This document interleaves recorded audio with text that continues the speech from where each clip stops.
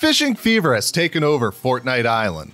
Players young and old have been bitten by the fishing bug and just can't keep out of the water. Season 4 has introduced a variety of new fish, with some pretty great power ups that help players out throughout the game. Fishing was first introduced into the game in Chapter 2, being a small mechanic that, until now, was largely ignored. It's great that Epic Games is developing it into something more, as it's a fun element of the game that makes Fortnite Island feel like an actual living, breathing place, and not just a battleground.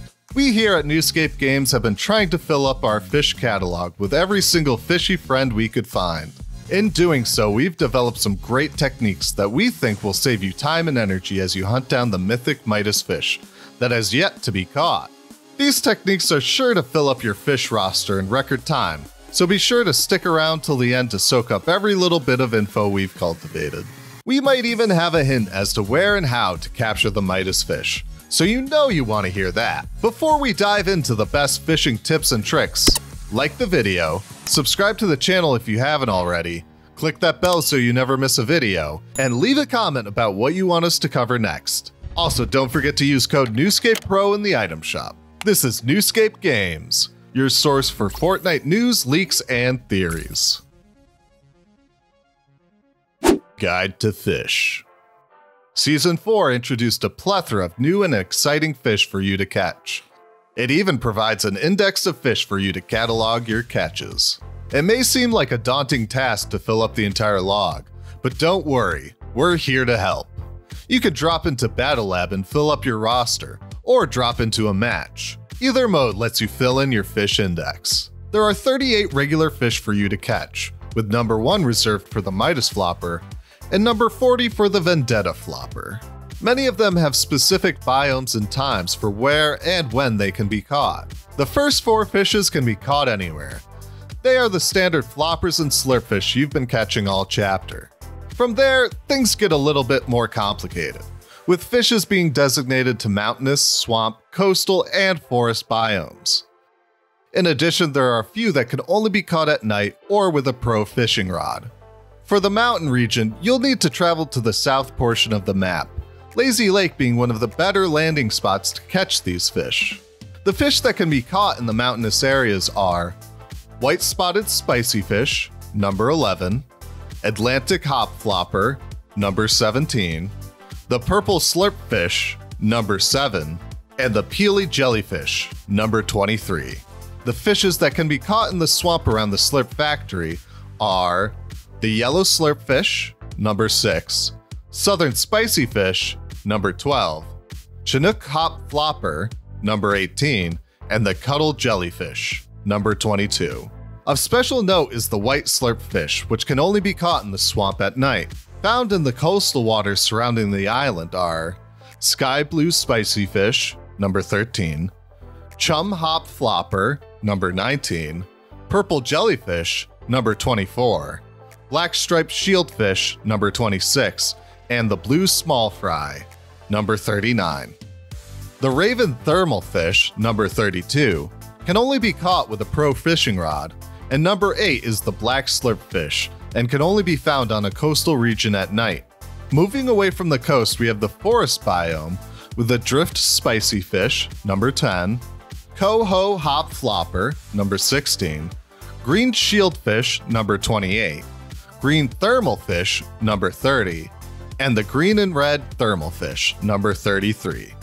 Finally, the dark vanguard jellyfish, number 21, and the black small fry, number 38, can only be found at night. The pink shieldfish, number 27, needs a pro fishing rod. All the other fishes can be found anywhere, at any time. We know that's a lot to soak in, so here are all the fish for the mountainous region, the coastal region, the forest region, the swamp region. Here are all the fish you can catch anywhere, and all the fish you can only catch at night. Happy fishing! Motorboat fishing. This tip is one of the best we've found so far, and we're more than happy to share it with you. You can use the rockets included on the motorboat to blow up fishing spots and get all the fish within that spot. You'll even get all the random loot from that fishing location. This is extremely useful during a match, as it'll allow you to get all the fishes, select the useful ones, and speed away before anyone has a chance to attack you. It's even better during a team match as you don't even have to switch spots. You speed up next to the loot and grab it. The one drawback to this technique is that it will not count towards your fishing guide, which makes sense.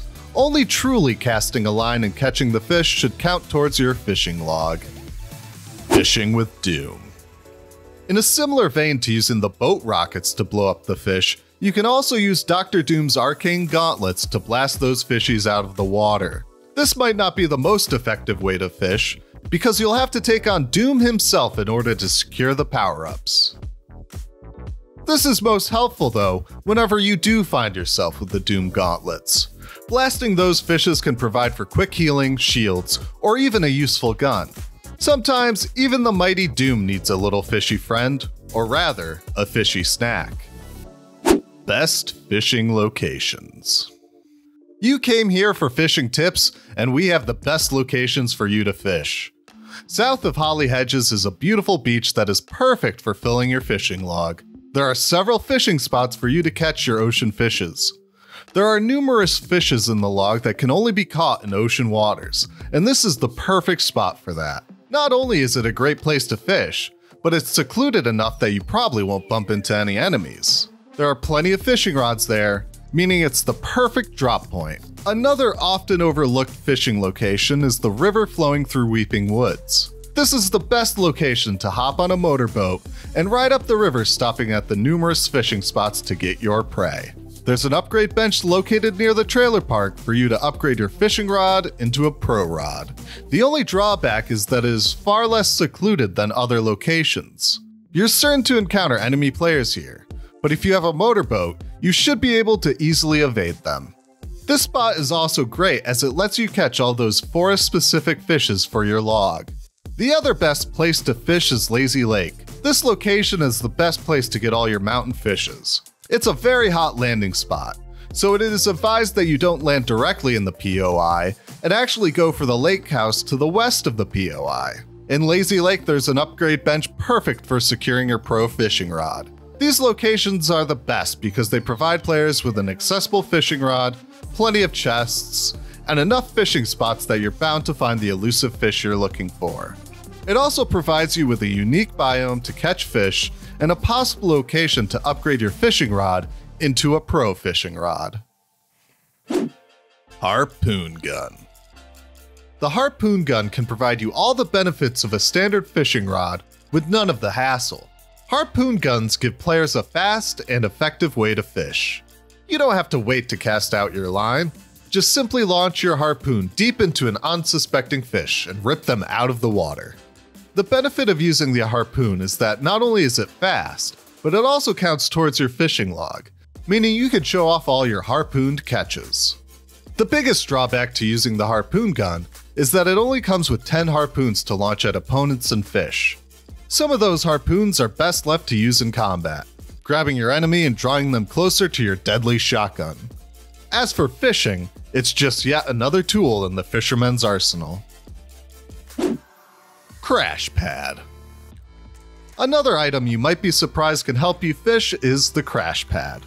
Throwing this bad boy down on a fishing spot will cause all the fish in that particular location to rise to the surface, along with any random loot in that spot. Now, this might be a bug in the game, so try it out before it gets patched up.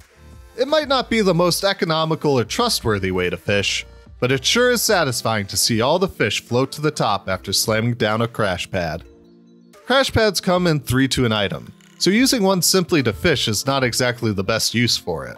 You also don't get to log any of the fish you catch, which is kind of a bummer. Grenade. So let's say you really hate fish, to the point that every time you see a fishing location, your blood boils turning you into the She-Hulk. Well then we've got a way to fish for you. Grenades will blast those unsuspecting fishes right out of the water for you to collect. Now again, since you aren't physically catching the fish individually, they will not appear in your log. This is an ill advised way to fish during a match. A loud grenade will give away your location to any player in earshot and will only benefit you a couple fish in return. We advise to only use this technique in the rare moments you can also deal damage to an opposing player and the fish. Otherwise, grenades are best left for destroying enemy builds. Motorboat Getaway Here's a tip for those intrepid fishermen that are trying to fill their fishing log during the heat of a match. If you use a boat, you can make a quick getaway after catching that prize flopper. The boat can easily speed off towards safety, and the onboard rockets can give you some covering fire as you escape. What makes this technique extra useful is that oftentimes while fishing, the storm is an afterthought. You're so captivated by the beauty and majesty of the water that you forget the incoming danger. All you need to do to get to safety is speed down the waterways with your trusty motorboat. Thermal Flopper This is an important trick to keep in mind while you're fighting for the victory royale. The thermal flopper is an exceptionally useful tool in combat, and saving it for just the right moment is essential for its effectiveness. Since the vaulting of the flare gun, getting information on the location of enemy players has been near impossible. It's only with the very useful thermal flopper that you can get a good sense of where other players are. When eaten, the thermal flopper gives you a thermal vision that highlights heat in bright white. We recommend saving this until you enter combat, or towards the end of the game, when only the most skillful players are left. Knowing where your enemy is is a huge tactical advantage, and not one to be wasted willy nilly. So save it for just the right time, and you'll come out on top. The Midas Flopper. Lastly, we have some info where you can find the infamous Midas Flopper. All you have to do is did you really think I'd just let you find the Midas Flopper that easily? No, that will not be happening today. You will have to scour the map to find the Midas Flopper, and even then, no one else has seen it. Are you even sure that such a fish exists? The number one spot on your fishing log will remain forever empty. Are we on? Sorry for the interruption. Well, Midas isn't totally wrong, but he also isn't completely right. With the new update, Fortnite has added in the Vendetta Flopper and the Midas Flopper into the game. The Midas Flopper just has a zero chance of spawning, while the Vendetta Flopper can be caught anywhere, and you just need a pro fishing rod. When eaten, the Vendetta Flopper will mark enemy positions like the Vaulted Flare Gun. The Midas Flopper is said to turn your entire inventory into legendary weapons, which sounds too good to be true. If the Midas Flopper is caught, though, we will be sure to let you know. Those are the 10 hidden fishing tips and tricks we've discovered throughout Season 4. Do you have tips that we didn't mention? Leave them as a comment below. If you have info on where to find Midas or Vendetta floppers, leave it below, and we'll be sure to investigate it. We here at Newscape Games are committed to bringing you the juiciest Fortnite news, the freshest leaks, and the most bonkers theories. Share this video with your fellow gamers and make sure to like, subscribe, and hit that bell button so you never miss out on a video. Thank you for watching.